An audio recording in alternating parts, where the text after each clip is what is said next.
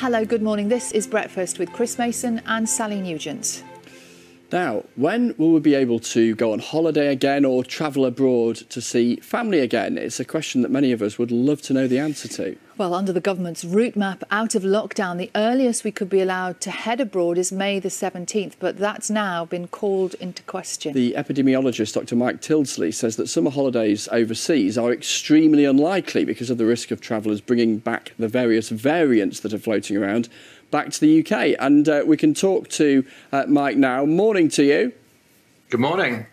Um, it's not going to happen, is it? It doesn't appear, according to your analysis, uh, travelling abroad this summer, given what we're seeing in Europe at the moment and uh, given the variants? Well, I mean, I think the first thing to say is I'm definitely not a decision maker, and I'm a very, very far distance away from being a decision maker. I mean, what I've been saying is really just my personal opinion as to where I think we are my real fear actually is, you know, the vaccination campaign is doing incredibly well in this country. I think we can't understate that, how well we've done. The concern is it's not doing quite as well in the European Union, for example. And the other concern that we have is that if we take um, a lot of countries in Europe, these variants with this E484K mutation that we see in the South African variant are much more prevalent. And sadly, some of the reports coming out about the vaccines, like the Oxford AstraZeneca vaccine, are nowhere near as effective against this South African variant. So my concern is with international travel, and I totally understand the frustration and the real need of people to want to travel um, as soon as possible. Is that if we bring more of those variants into the country, we really run the risk of undoing all the good that we've done with our current vaccination campaign. And so, given that, I mean, is, is there bluntly here a, a trade off? Limit international travel significantly or pretty much entirely and things, touch wood, can carry on opening up here at home, or the alternative, there is more travel, but then the prospect of further lockdowns? Uh, to be honest, this is exactly the position that I've been in. I really worry that, you know, I, like many people, would love to think that we might be able to go overseas in the summer. But my worry is if we open up too quickly, we then could be seeing if if these South African variants or similar come in and all of a sudden the vaccines are much less effective, we might see the virus spreading more readily and really putting the vulnerable much more at risk. And then, as you said, sadly, possibly another lockdown later in the year. And I absolutely want to avoid that. You know, I very much want us to be on a one way route to freedom, as it were, as the government of stress. And I think with international travel, if we do that too quickly, then we could be jeopardizing that. When I mentioned uh, on social media last night that we'd be talking to you on the programme this morning, uh, one or two people in the travel industry uh, expressed frustration um, at uh, your predictions around the likelihood of, of, foreign holidays, understandably from their perspective, given how important an industry it is and how many jobs are dependent on it. I just wonder how useful these predictions actually are, given none of us can quite be certain what the future holds. Yeah, it's really difficult, and I do totally appreciate that. I mean, you know, I'm in a position, I have research projects overseas that I've not been able to go to for over a year, and they are severely in jeopardy because I'm not able to travel internationally. So I think it affects all of us in a really, really serious way.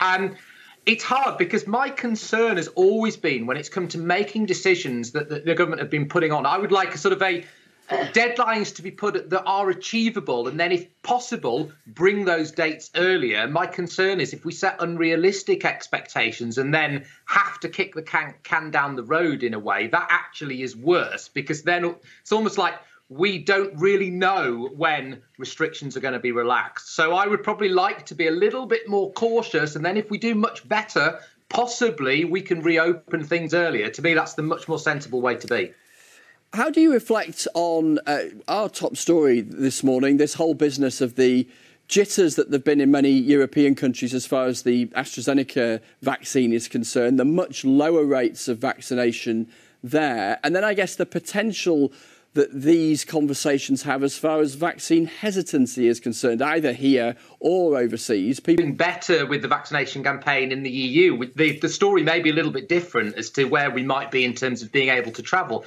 I think it's been hugely damaging in the EU, this mixed messaging when it's come to, you know, originally the Oxford AstraZeneca vaccine in some country wasn't being given to the over 65s. Then there was um, uh, a lot of countries stopped using it because of these supposed blood clots that really was based on very, very flaky evidence. And now some countries only giving the Oxford AstraZeneca, AstraZeneca vaccine to the over 55s. I think it's really mixed messaging. The key thing to me is we need as many people as possible to take the vaccines. As I wonder how useful, though, they are in, in your assessment at trying to repress the virus or limit the amount of variants overseas coming back into the UK.